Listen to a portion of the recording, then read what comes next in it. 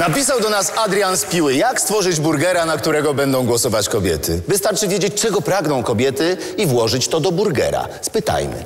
Przepraszam, czy pani jest kobietą? Tak, O, czego pani pragnie? miłości. No. Adrianie, już wiesz, co robić. A ty też. Wejdź na mcdonalds.pl i stwórz burgera, który zdobędzie dużo głosów.